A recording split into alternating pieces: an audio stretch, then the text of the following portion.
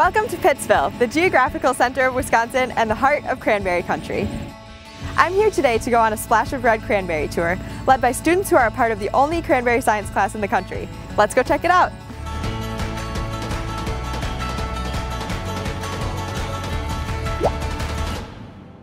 Cranberry Science is the course that the students can enroll in when they're juniors or seniors at Pittsville School District. Part of the Cranberry Science course is that they um, do what we call the Splash of Red Cranberry tours. So two to three days a week our students are going out and actually giving the tours. We go to uh, an actual marsh where our tour guests are able to see the harvesting process. Um, we go to a receiving station where they're able to see the berries dumped and then the binning, freezing, and lab process of the berries as well.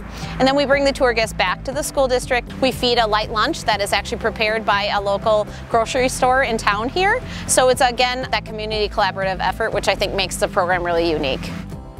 There are students in Cranberry Science that uh, also take uh, local foods, which is where people donate foods from the area. big one is squash and cranberries. They actually made the, uh, the topping that went on the ice cream most of the kids um, work in the cranberry industry while they're in high school. And I think that's an important concept to point out is that they do have opportunities to be employed.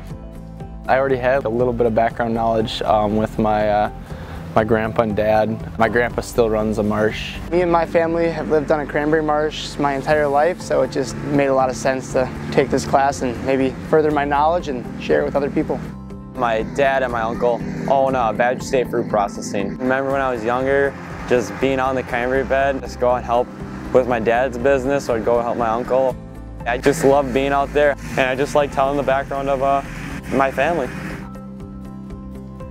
This is right up there with dairy being uh, such a, uh, an important industry and the largest industry for uh, central Wisconsin. Wisconsin produces three-fifths of the entire nation's cranberries, and Wood County has the largest acreage in the state. So it's really important to our local community and the state. To get the kids to understand that how big of an impact that this one particular commodity has, not only on our county, but our entire nation and the world, is pretty eye-opening to them. There's people that come from across the world actually. We have a couple people from Australia I think scheduled. We have a lot of people from uh, southern states, Tennessee, big one, Arizona. I tell the kids this is a very intense class and you're going to be having to public speak at a level that you probably haven't public spoke at, at all up until this point in your life. So again, I, I try to make sure that they're comfortable at that. I've really grown to love talking to people and meeting people from different parts of the country and even other countries. And I just think it's a great experience to like, learn a little bit more about the world.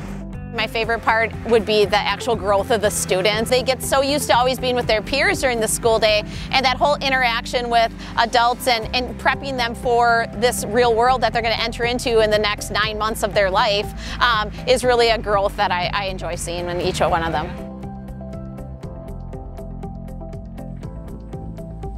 I think cranberries taste pretty awful. Okay. I, I try them at least once a tour, and every time I try them, it's just still bad. I've grown cranberries my whole life, and I do not like them unless they're in something baked or a juice, or maybe a craisin. I eat a lot of cranberries. When I go trucking with my brothers or my dad, uh, normally when we pick up a trailer, I always climb in the back and I'll get a handful of cranberries, fresh off the vine. Yeah. That's probably my favorite.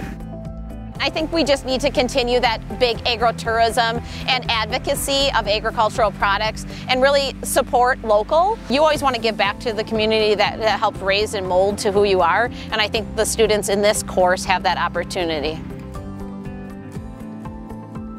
In the future, I plan on going to be a diesel technician and then pursuing my career in heavy equipment operating. I just hope people come out and enjoy the tours and like what we're doing.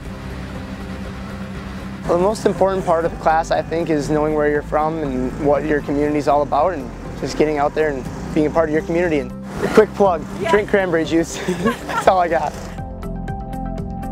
How cool is it to see a school incorporating such a defining part of its community into the curriculum? I hope you enjoyed your tour of the Pittsville Cranberry Bogs and that you learned something new. I know I did. Thanks for joining me on the road.